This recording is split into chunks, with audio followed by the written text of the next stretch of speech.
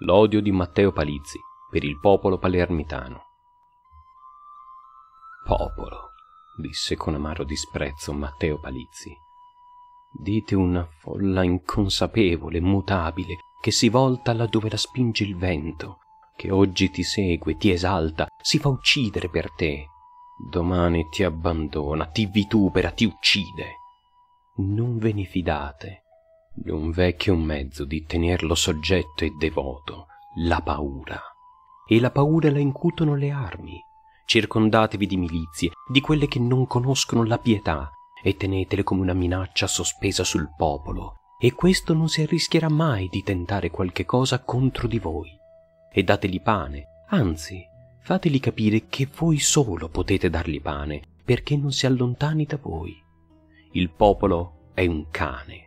Il cane non si mantiene sottomesso e fedele che con lo staffile e col pane. Ma non lo saziate.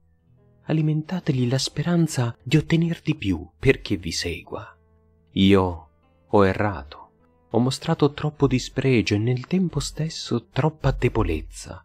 L'ho abbandonato a se stesso non ne ho diffidato abbastanza.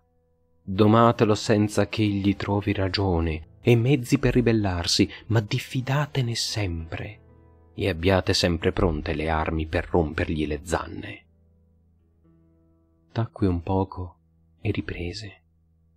Io l'odio questo popolo che sparse il sangue dei miei figli, che saccheggiò, bruciò la mia casa, che mi cacciò come un lupo, che perseguitò i miei amici, e vorrei colpirlo con la mia vendetta, ma mi serve.